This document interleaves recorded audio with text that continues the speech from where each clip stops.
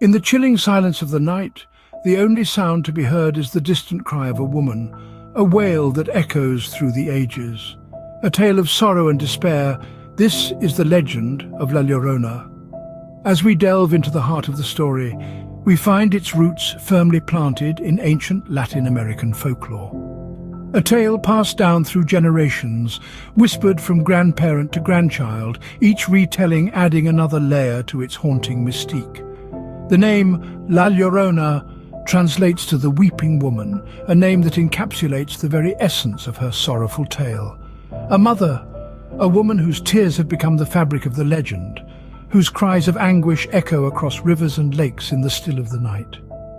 Her story is a chilling reminder of love turned tragic, a tale woven with threads of despair and regret. And as we journey deeper, remember, this is not just a tale. A tale that sends shivers down your spine. This is the horrifying legend of La Llorona.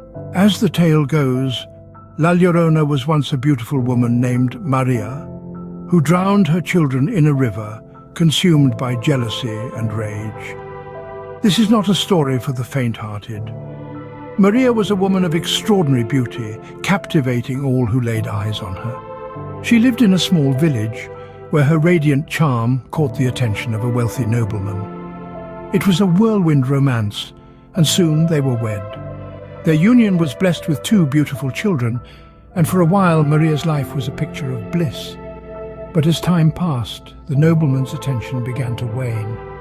His eyes wandered, straying from his wife to younger, more exotic ladies.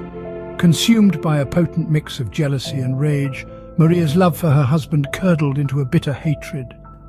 In a fit of madness she took the lives of their children, casting them into the unforgiving currents of the river.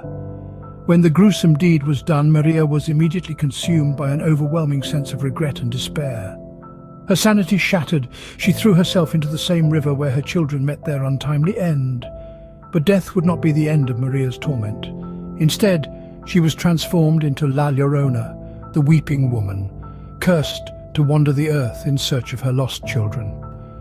The beautiful Maria, once the jewel of her village, was now a spectral figure of horror. Her once melodious voice reduced to mournful wails of anguish. Her radiant beauty was replaced by a ghastly pallor, her eyes forever streaming with tears of regret. Her cries echo through the night, a chilling symphony of sorrow that instills fear in all who hear it. Those who cross her path are met with a horrifying spectacle, a grieving mother, forever doomed to search for the children she herself condemned to a watery grave.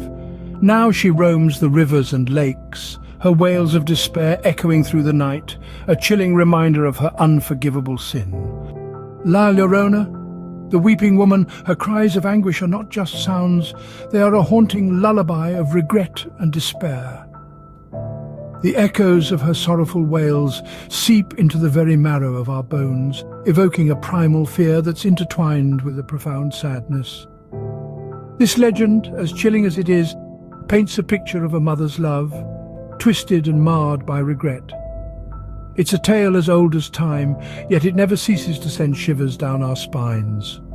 Her cries, they say, are not mere expressions of pain, but a chilling harbinger of doom.